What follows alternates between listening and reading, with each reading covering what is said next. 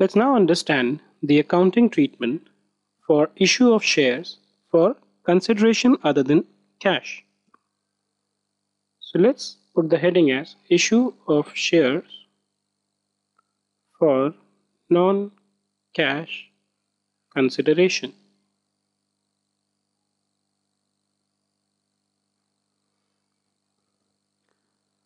Now many a times what can happen is let's say you have company X. Now company X wanted to purchase certain plant and machinery from Hardy. But what happened was that company X did not had cash.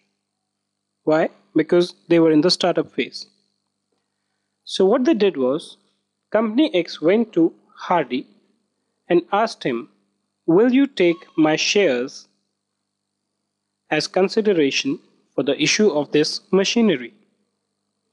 Hardy Limited, looking at the track record of X, said, Okay, I can give you this asset and I will take your shares. Now, these shares can come at different prices to Hardy. Okay, Let's consider different scenarios. So in this case what will happen is you get plant and machinery from them and you issue share capital to them. So there's no movement of cash although shares are being issued. There could be three scenarios in such a case. Namely, first one is you issue shares at face value.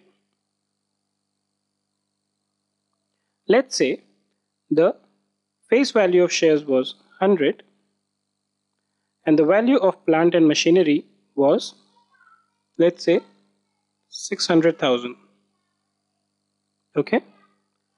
Now what will happen is that how many shares will be issued? Of course the number of shares issued will be equal to value of plant and machinery upon face value per share or the issue price.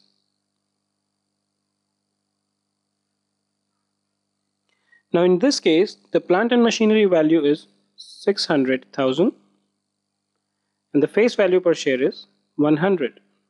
So you knock this off, this, this. So basically you will be issuing 6000 shares. Now let's see what will be the entry which will be passed for this.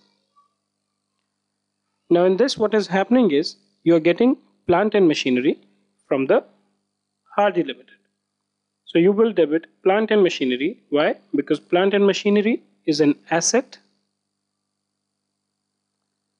Right? When an asset comes, comes in it is an increase in the value of the asset and increase in the value of the asset is debited. So you debit plant and machinery by 600,000 2. What will be the 2 here?